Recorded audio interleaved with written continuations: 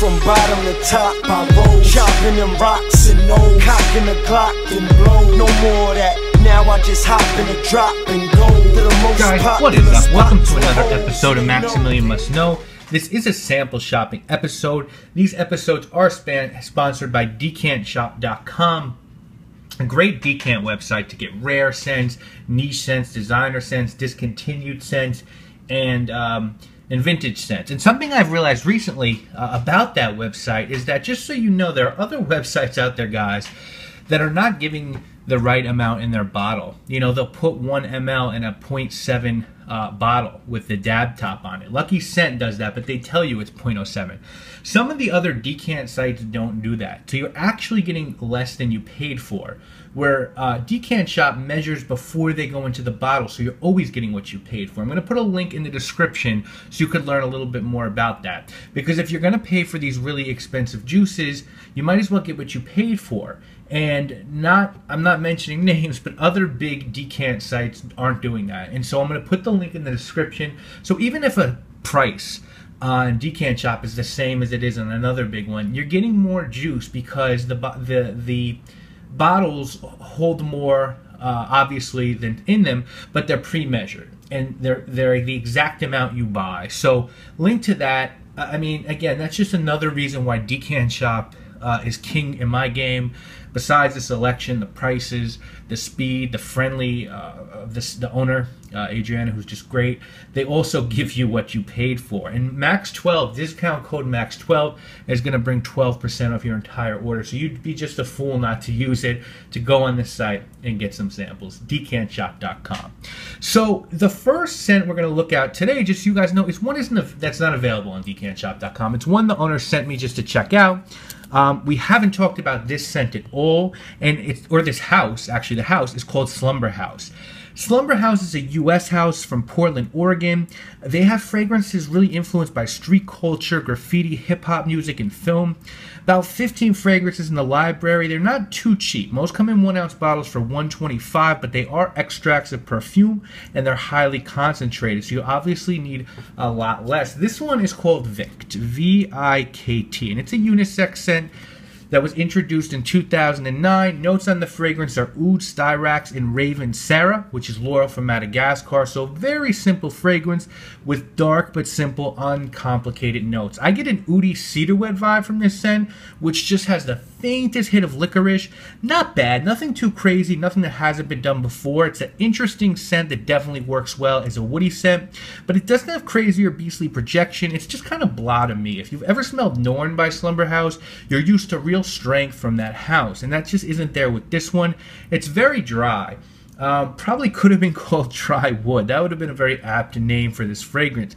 If you like those kind of woody scents, though, definitely check this one out. I'm definitely going to give it a couple more whiffs, as the quality here can't be denied. Slumberhouse makes very high quality scents, uh, and this is definitely high quality. But you can't get this one from Decant Shop anyway, so let's leave that alone now. Next one is a Creed scent, guys. This one is Royal Leather. And this is a Creed scent that I don't think's been officially discontinued, but can be really tough to find. Creed says, and I'll put, you know, take that with a grain, or actually a bottle full of salt, that this scent was commissioned for King George in 1781. I don't know. I think Creed's pretty delusional. That doesn't mean they can't make good sense, though. Um, supposedly, the king loved his leather gloves and wanted to smell like that, so he commissioned Creed to make this scent.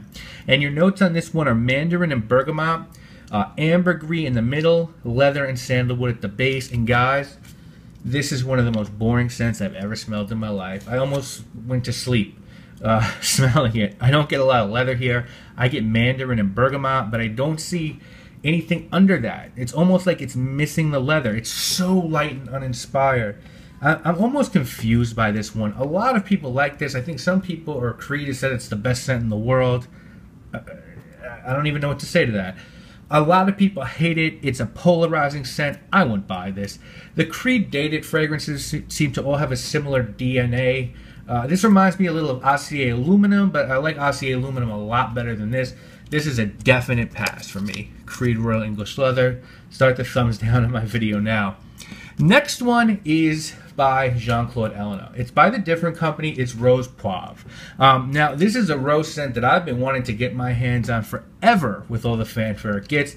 A lot of other reviewers mention this, uh, with sometimes with Malle's Portrait of a Lady, Le Labo's Bay Rose, Amouage's Lyric Man, as the best rose scents for men. We looked at Lyric Man, and I thought it was very overrated.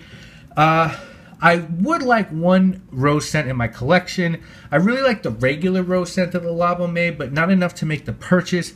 This one really appealed to me. Um, I think Mark put it on his best spring niche fragrance list last year. And of course, uh, it is from the different company and master perfume Jean Claude Ellena. It takes over 100 pounds of roses to produce a single bottle of this stuff. 50 ml is going to run you 150, 100 is going to run you 220. Notes are Damascus rose, rose bay, pepper, coriander, vetiver, and civet. And I'm convinced at this point that Jean Claude Ellena can just not let a clean note be a star of the fragrance. Rose or citrus, he feels like he's got to dirty it up, spice it up, get some NC 17 in there. Coriander and cumin seems to always pop up. And this is not the rose scent for me. I like it better than Lyric Man, a lot better. But maybe I just don't like rose scents in general. I got to try the Frederic Malle one. Um, but to me, the, here the cumin or coriander note comes off a lot of the time like body odor. You know, that's why I'm not in love with Bigarade Concentrate or Declaration. Uh, this is a really well done scent, and I do like the rose aspect. But the coriander ruins it for me. You know, I, I guess I just need to. I'm going to keep exploring different company though because I know there are some gems in the catalog that other uh, reviewers really like, like Sel, de Vetiver. But this one is another pass for me. Uh, but I'm, I'm definitely going to keep keep trying that. Now, my subscribers should know that I'm really getting into Montale scents. Intense Cafe sort of piqued my interest, and now I'm trying to smell everything I can.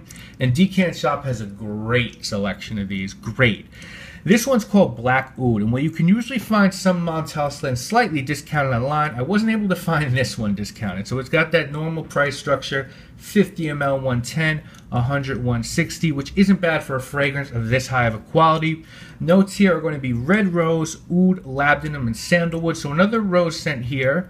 Uh, now, almost every house that uses oud in its library makes these sort of standard oud and rose scents. This is Montale's take on that and it is as good as any you're ever going to get your nose on.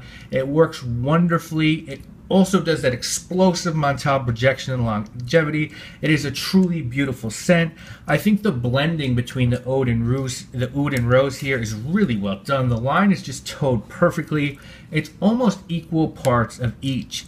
And you've also got this sort of nice dank oud wood uh, with dark rose poking right through it. Definitely a winner. This to me probably is bottle worthy. I'm going to keep sampling it before I buy one, but I really like that. Now, the final one for this episode is an Angel Men flanker. Um, I did a review of Pure Malt on this channel. I also have Pure Leather. I'm going to be picking up Pure Havane very soon. I'm not a huge fan of the original, but I love the bottles and do want to collect the line, Pure Shot, and taste the fragrance as well. This one, for some reason, wasn't released the same way that Molten Havane were. This is pure coffee. And because of that, the eBay prices are a little silly and run up to about 200 bucks, um, even though it retailed for about 90. This one was released in 2008 by Perfume Jacques Huclet, who did the original Amen and some of their other flankers. Notes on this fragrance are patchouli, musk, coffee, cedar, and vetiver. Now, if I didn't know Adriana at the Decant Shop, I think something was wrong with this. Maybe I got the wrong thing or something.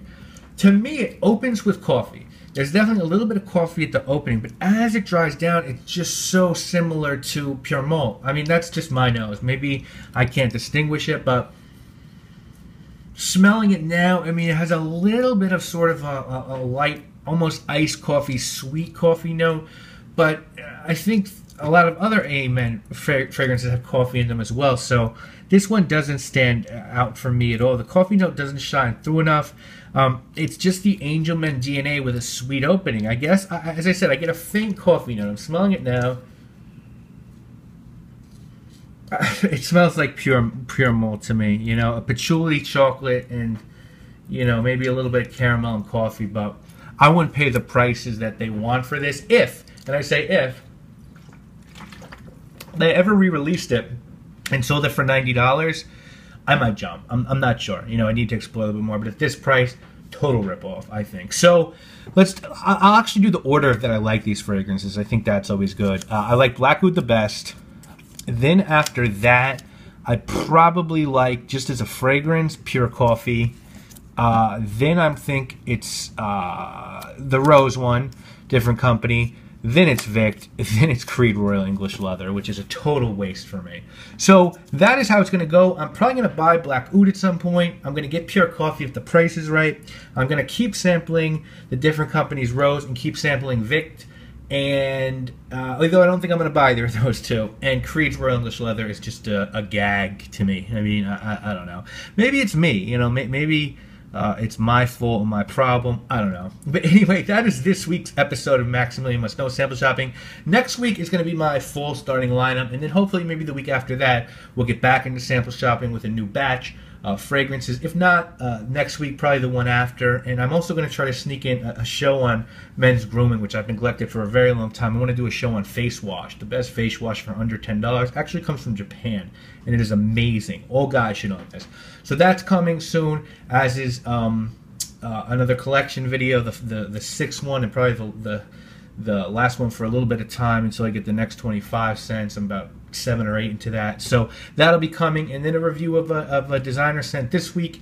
And next week, hopefully, I'm going to be reviewing a full review of Lair des Monroe Mandy Tower next weekend. So anyway, thank guys, thank you all so much for watching. Remember to go to Decant Shop so you can actually get what you pay for in terms of how much fragrance you buy. Link to that conversation will be below so you can understand a little bit better what I'm talking about.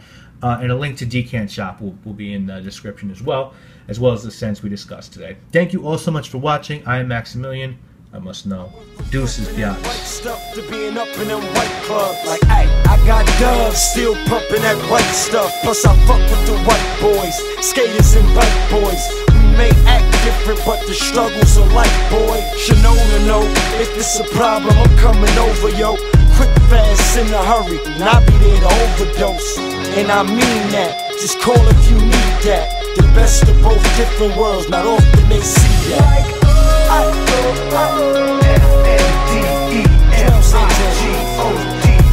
It's how they I bet you never expected this.